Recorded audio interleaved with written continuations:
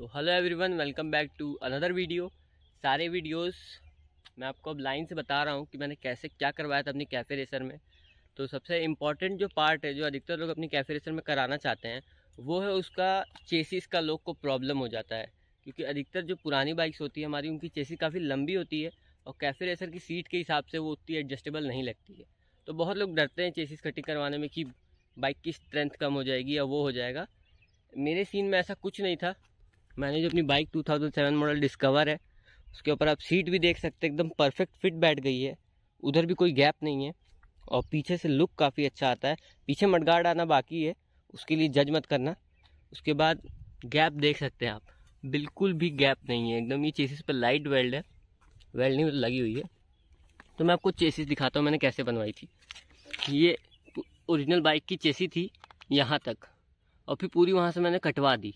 मतलब इस पार्ट से जहाँ तक आपका स्ट्रेंथ रहता है, वहाँ से मैंने चेसी कट करवा दी पूरी, अलग। फिर उसके बाद जो हमारा पुराना हैंडल था डिस्कवर का, किसी भी बाइक में हैंडल जो आता है, अगर आप कैफ़े रेसर बनवा रहे हैं तो आप हैंडल यही वाला लगवाएँगे या नीचे वाला लगवाएँगे? वो लंबा वाला हैंडल कैफ़े रेसर का लुक स्पॉइल कर देगा पूरा। तो जो हैंडल था, वो निकलवा दिया था मैंने।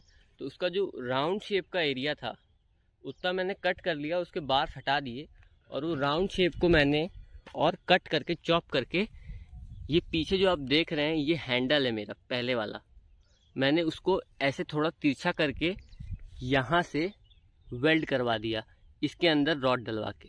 तो स्ट्रेंथ भी पूरी हो गई और गाड़ी का लुक भी टेल, शॉर्ट हो गई और राउंड हो गई।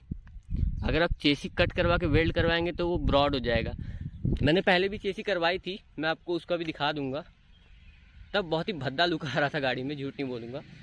क्योंकि मेरे को करवाना था तो एकदम राउंड करवाना था अच्छा करवाना था।